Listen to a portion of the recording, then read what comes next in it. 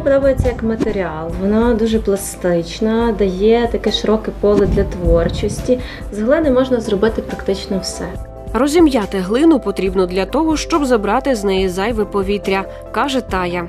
Є щось в цьому однозначно сакральне, коли доторкаєшся до цієї глини, щось створюєш руками, воно якийсь такий дає спокій.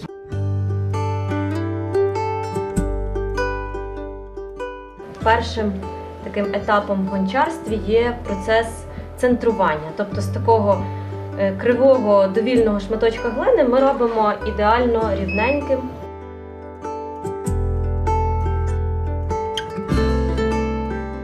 До гончарства вона малювала, виросла у творчій родині. У мене батьки художники, дідусь художник був кераміст. Це сімейне наше таке захоплення. Всі розуміють, що таке творчість, настільки вона важлива для людини, і якщо подобається, то це варто робити.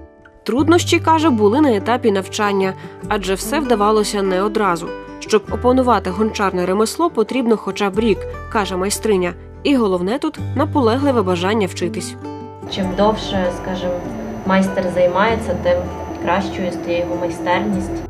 Наступний етап доповнення виробу декоративними елементами, і тут уже справжній політ фантазії. Ось таку симетрію, таку ідеальність я стараюся трішки зіпсувати. Фактуру створюю підручними матеріалами. Сьогодні це буде кукурузка. Вона залишає свій цікавий слід. Для творчості підійдуть морські мушлі чи навіть бабусині серветки.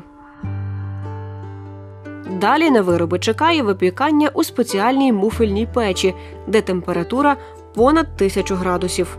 Зараз вона вже вистигла до 250 градусів, і ми можемо дістати один екземпляр, щоб показати його готовим. Ось такий ще гарячий. Покриття шаром спеціальної фарби у гончарстві зветься глазуруванням. Для цього знадобиться масочка, щоб не вдихати речовину. Перемішуємо спеціальну харчову глазур. Вона має поки що такий вигляд рідкої сметани, але при дії високої температури вона перетвориться у склоподібну глянцеву поверхню. Готові вироби це керамічний посуд, горнята, тарілки та глечики, а ще глиняна біжутерія, дизайн авторський і залежить від натхнення та настрою, розповідає Тая. Зараз приємно працювати в тиші, коли за вікном співають птахи, чути шелест вітру.